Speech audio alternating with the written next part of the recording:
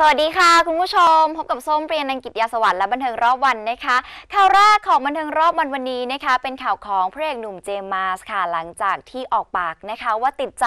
กับบททหารที่ได้รับค่ะ จากละครแจ้งเกิดเรื่องสุภาพบุรุษจุฑาเทพนะคะ และละครเรื่องล่าสุดข้าบดินนั่นเองค่ะ รับบทเป็นทหารในรัชกาลที่ 3 แต่ชีวิตจริงของเจมส์มาสนะคะก็ต้องมีการผ่อนผันการเกณฑ์ทหารออกไปก่อน เพราะว่าติดภาระทั้งเรียนและก็งานค่ะ อ่า เคยแสดงเป็นทหารอากาศมาแล้วกับบทบาทของคุณชายรณพี ในละครเรื่องสุภาพบุรุษจุฑาเทพ กลับมาครั้งนี้ก็ยังคงได้รับบทบาทนายทหารอีกครั้ง ในละครพีเรียดของค่ายทีวีซีนเรื่องข้าบดินทร์ กับบทเหม บุตรชายของพระยาบริรักษ์ในสมัยรัชกาลที่ 3 โดยเจมส์มาร์บอกว่ารู้สึกสนุกกับบทบาทของนายทหาร ที่เรื่องนี้รับเล่นเป็นครั้งที่ 2 และมีบทบู๊ให้แสดงฝีมือด้วย ซึ่งโดยส่วนตัวพระเอกหนุ่มบอกว่า สนใจและชอบดูหนังแนวแอคชั่นมากอยู่แล้ว จริง ๆ ก็เป็นโอกาสที่ดีด้วยแหละครับผมว่าที่เราได้เราได้เล่นเป็นบททหารเพราะว่าตอนเด็กๆเราก็ชอบดูแบบหนังแอคชั่นอยู่แล้วไงครับก็ก็ดีใจที่เราได้พอโตขึ้นมาได้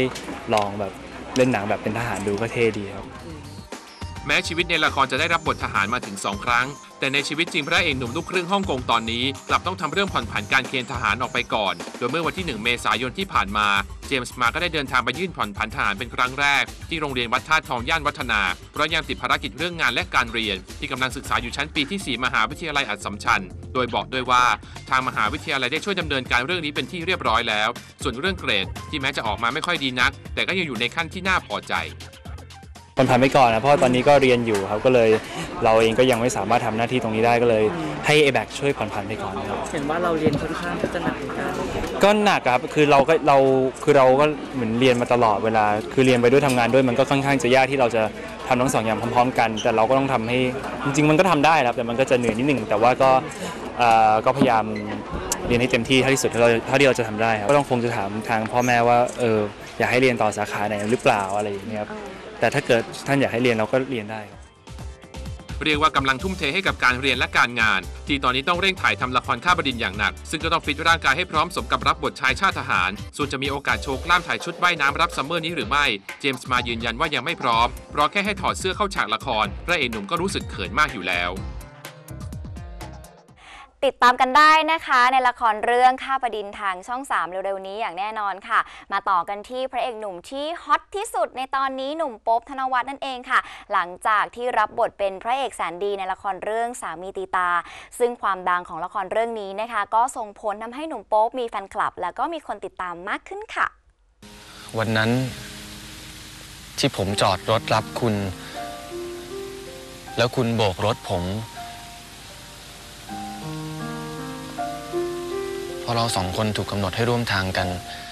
แม้ละครจราจรไปแล้วแต่กระแสความแรงของสามีตีตรา ที่ออกอากาศทางช่องสามนั้น ก็ยังคงเป็นที่พูดถึงอยู่ โดยเฉพาะเหล่าบรรดานักแสดงนำแต่ที่เขาสุดๆคงหนีไม่พ้นพระเอกของเรื่องอย่างคุณพิสุทธิ์ ซึ่งแสดงโดยโป๊ปธนวรรธน์วรรธนะภูติ กับบทบาทในฐานะพระเอกเต็มตัวเรื่องแรก ที่ตอนนี้ได้กลายเป็นขวัญใจสาวแท้สาวเทียมไปแล้วทั่วบ้านทั่วเมืองค่ะ โดยโป๊ปเองก็ยอมรับว่าจากกระแสความนิยมที่เกินคาดในละครเรื่องนี้ ส่งผลให้เขามีแฟนคลับเพิ่มมากขึ้น ทั้งในโซเชียลมีเดียและตามสถานที่ต่างๆ ที่เขาได้เดินสายไปโชว์ตัว ก็จะมีแฟนละครมาคอยเป็นกำลังใจให้เขาจำนวนมากค่ะเขาเพิ่มคุณพิศุทธิ์นะไม่ได้เพิ่มผมแต่วันนี้ไม่มีแฟนๆมาเยอะครับครับก็มีแฟนทั้งโป๊ปพลอยโป๊ปมิวจุ๋ยด้วยสายน้ำผึ้งด้วยก็รวมๆกันมานะครับผมเห็นอยู่กับเยอะก็เยอะขึ้นนะครับ เพราะว่าก็มีอ่า แฟนคลับเรื่องเดิมด้วยของคุณชายด้วย แล้วก็ตั้งแต่กับส้มสีทองก็ยังอยู่เหนียวแน่นอยู่ก็หลายคนอยู่ครับ มีใหม่ก็เยอะมีใหม่ก็เยอะด้วยครับ ก็ทั้ง IG แล้วก็คนที่ตามงานนะครับ ไปต่างจังหวัดก็คนก็ค่อนข้างจะมามาถ่ายรูปได้เยอะครับ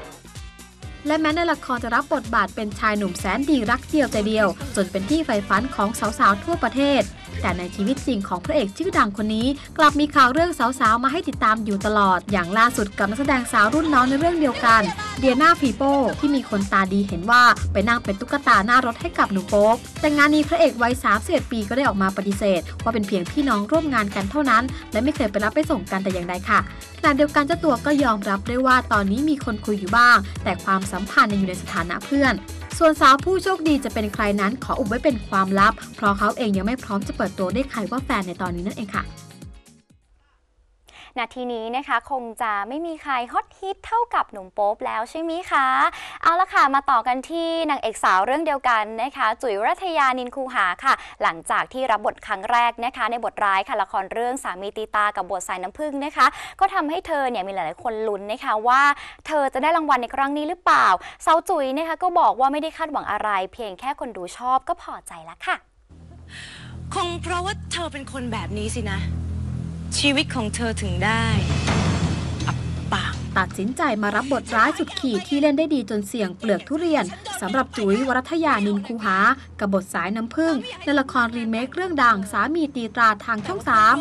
และจากความร้ายที่เล่นแบบทุ่มสุดตัวในเรื่องนี้ ก็ทำให้หลายคนลุ้นอยากให้เธอได้เป็นเจ้าของรางวัลบนเวทีใดเวทีหนึ่งบ้าง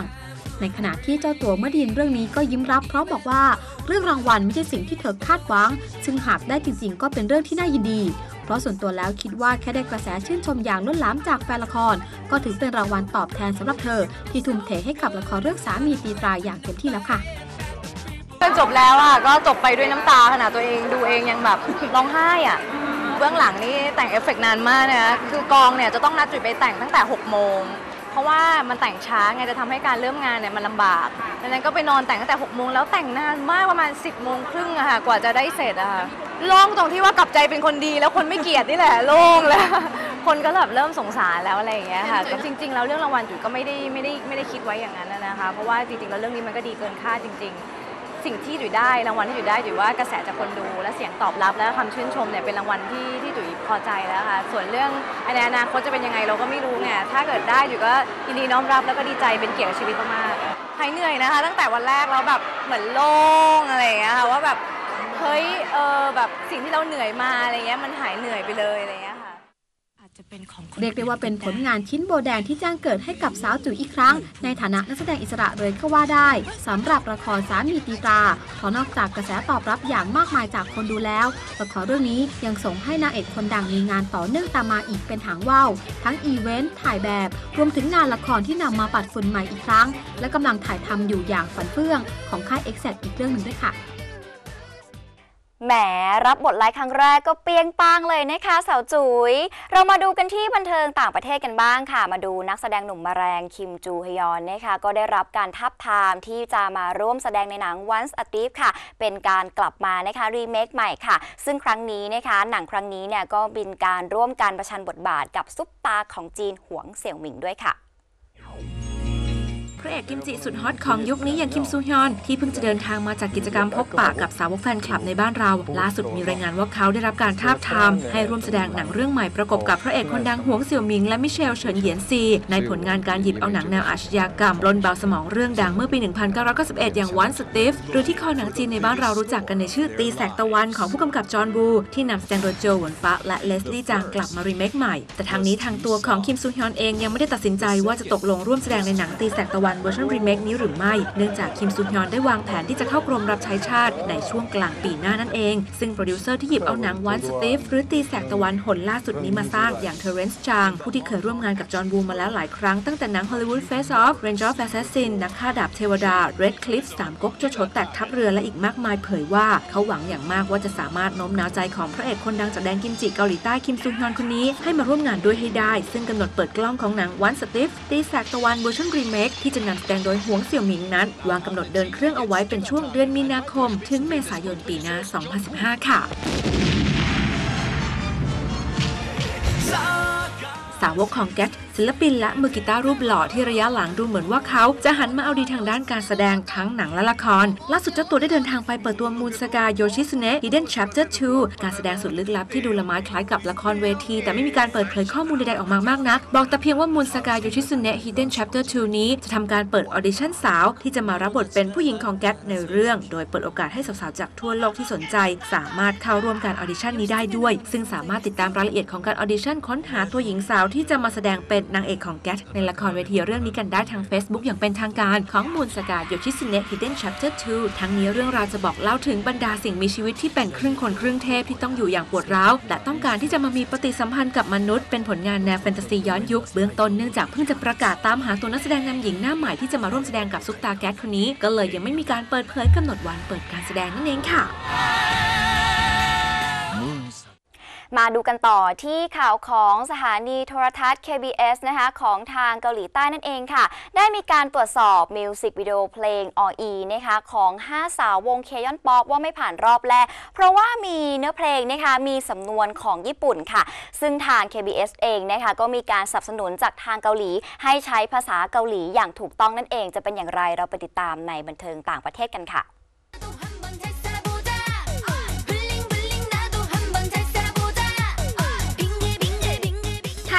MV ล่าสุดของ Unit Orange Caramel รวมถึงสาวกาอินแห่งวง Brown Eyed Girls ถูกแบนด้วยภาพและเนื้อหาที่ไม่เหมาะสมตามลำดับโดยสถานีโทรทัศน์ KBS ซึ่งเป็นหนึ่งใน 3 ช่องหลักของที่เกาหลีใต้แล้วล่าสุด ถึงคิวของเพลง RE แทร็กใหม่จากห้าสาววง Crayon Pop เจ้าของแทร็กฮิตก่อนหน้านี้อย่างบาบาบาเมื่อปีก่อน โดยทางสถานี KBS ให้เหตุผลที่ไม่ให้ MV ตัวนี้ ผ่านการตรวจสอบในรอบแรกว่าเป็นเพราะในเนื้อหาเพลง RE มีสำนวนภาษาญี่ปุ่นที่แม้จะไม่ได้มีความหมายในทางที่ไม่ดี เพราะแปลว่าเรืองแสงเปล่งประกายระยิบระยับ แต่ว่าเนื่องจากช่อง KBS นั้นเป็นสถานี ซึ่งได้รับทุนสนับสนุนจากทางรัฐบาลเกาหลีจึงต้องเข้มงวด กับการใช้ภาษาเกาหลีที่ถูกต้องทั้งการสะกดและเรื่องของสำนวนเป็นพิเศษ ทางต้นสังกัดของ Crayon Pop จึงจำเป็นต้องมีการปรับเปลี่ยนสำนวนดังกล่าวให้เป็นภาษาเกาหลีที่ถูกต้อง เรื่องนี้ทางค่าย Chrome Entertainment ต้นสังกัด Crayon Pop เปิดเผย ว่าได้ทำการปรับเปลี่ยนแก้ไข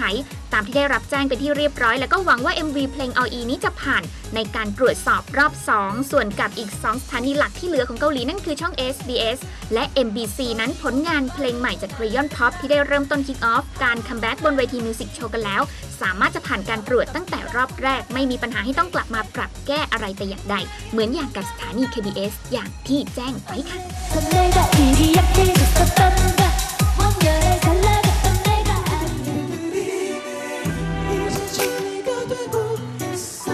มีข่าวดีของหนุ่มลีจุนหนึ่งในสมาชิกแห่งวง MBLAQ ที่ล่าสุดนอกจากจะอยู่ระหว่างโปรโมทผลงานเพลงใหม่กับเพื่อนร่วมวงแล้ว ผลงานแสดงของเขาเองก็สุดฮอตไม่น้อยด้วยเมื่อลีจุนถูกประกาศให้คว้ารางวัล นักแสดงหน้าใหม่ยอดเยี่ยมบนเวที Wildflower Film Award เพื่อจะยกย่องคนในอุตสาหกรรมหนังอินดี้นอกกระแส ซึ่งปีนี้จัดขึ้นเป็นครั้งแรกในใจกลางกรุงโซลเมื่อวันอังคารที่ผ่านมา โดยบทบาทที่ส่งให้ลีจุน สมาชิกขาแดนซ์ของวง MBLAQ คว้ารางวัลเกียรติยศหนนี้ มาจากหนัง Rough Play หรือ An Actor is an Actor เรื่องราวของนักแสดงหนุ่มขาลงตกอับ ที่พยายามกลับมามีที่ยืนในวงการอีกครั้ง ผลงานเรื่องนี้เป็นฝีมือของคิมคีด็อก มือทำหนังอาร์ตชื่อกระฉ่อนระดับนานาชาติ ผู้เคยพาหนังคว้ารางวัลสูงสุดที่เทศกาลภาพยนตร์เวนิส ประเทศอิตาลีเมื่อ 2 ปีก่อน โดยสำหรับหนุ่มลีจุนเองนั้นถ้าจำกันได้เขาเคย go ฮอลลีวูดกันมาแล้ว กับการสวมบทพี่เรนในวัยเด็ก ในหนัง Ninja Assassin นั่นเอง การคว้ารางวัลล่าสุดนี้สื่อเกาหลีก็ถึงกับซูฮกว่าลีจุนนั้น สามารถจะลบคำศพประมาทเรื่องที่ศิลปินไอดอลพยายามจะขยายฐานแฟนคลับตัวเอง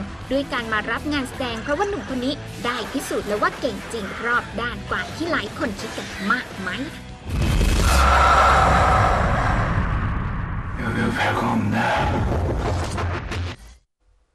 และนี่นะคะคือบันเทิงต่างประเทศในบันเทิงรอบวันค่ะคุณผู้ชม ช่วงนี้เดี๋ยวเราพักกันก่อนนะคะ ช่วงหน้ากีฬารอบวันรออยู่ พบกับคุณอาร์มพงศธรหล่อตระกูล ช่วงนี้ต้องลาไปก่อนนะคะ สวัสดีค่ะ